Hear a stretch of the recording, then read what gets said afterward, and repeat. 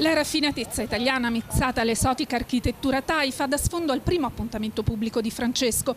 La gigantesca statua di Brahma osa sfidare il ritratto di Rama X che sorveglia, regale la cerimonia di benvenuto alla Governmental House.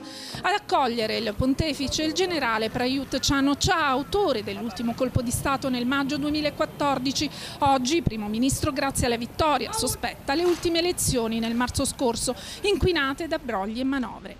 Incontro cordiale a porte chiuse, protocollo asiatico, emozioni trattenute e apparente distacco. Ritrosia solo stentata quando Francesco prende la parola, infatti nel salone dove sono riuniti diplomatici e autorità civili l'attenzione è massima.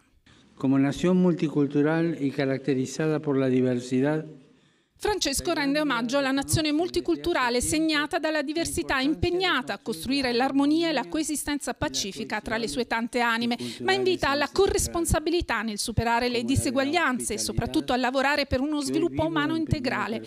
Poi riferimenti concreti a due tra i fenomeni più complessi, quello migratorio che ha portato in Thailandia centinaia di migliaia di profughi e rifugiati, in gran parte vietnamiti e cambogiani, e lo sfruttamento sessuale di donne e bambini, vera piaga del paese.